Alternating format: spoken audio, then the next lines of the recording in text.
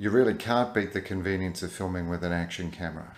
No matter what's going on, you can point it at the subject, it's going to be in focus. Doesn't matter how shaky it gets, it's all going to be smoothed out and look fantastic. The trouble is, the images look like they come from a GoPro. On the other hand, you've got something like a Blackmagic Pocket Cinema camera, which has awesome looking footage. You get great depth of field, the motion blur looks very cinematic.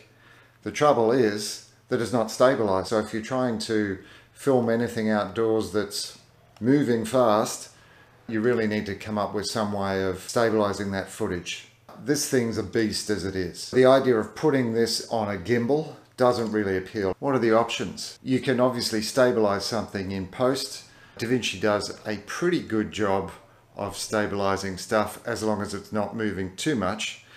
What would be fantastic is if you could combine the stability that's built into an action camera with the images that are coming out of your cinema camera. The great news is there's some software I'm going to show you today that can do that. And you've probably got everything you need to be able to set your camera up to do this right away. Stay with me on this video and I'll show you how to get everything set up and have your footage looking buttery smooth. Have a look at this footage that I shot earlier. You can see on the left we've got the image that's unstabilized. I'm walking backwards filming someone pretty typical of the sort of shoots that I would normally do and you can see how tough it is to try and keep the subject in the center of the frame and the image nice and stable. On the right you can see it's been stabilized using GyroFlow.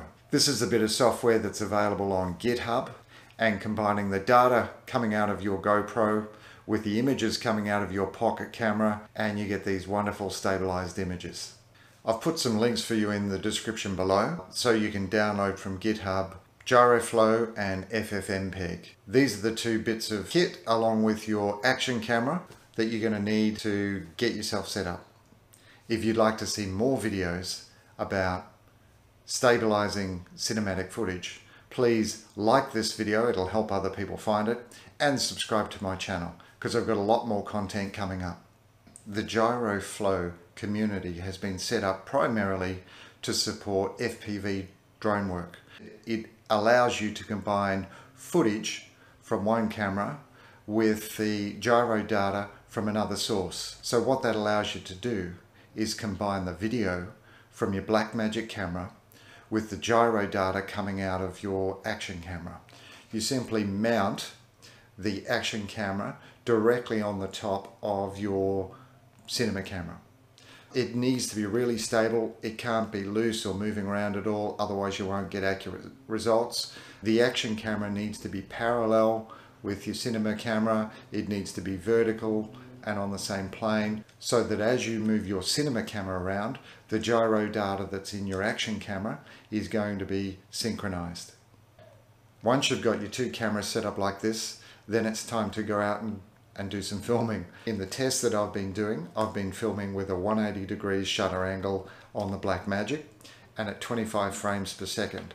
I match the frame rate in the action camera so that as the data is recorded, it's going to be able to be synchronized. You simply press both buttons, start recording. It doesn't matter if they're not exactly the same as GyroFlow will align the gyro data coming out of your action camera and sync that up with the images that are coming out of your pocket cinema camera. There's an excellent Facebook GyroFlow community. I've put a link to their site in the description below. In the next video, I'll show you the workflow that I'm using to get the footage from the Pocket Cinema camera and the gyro data out of your action camera and combine them together in GyroFlow.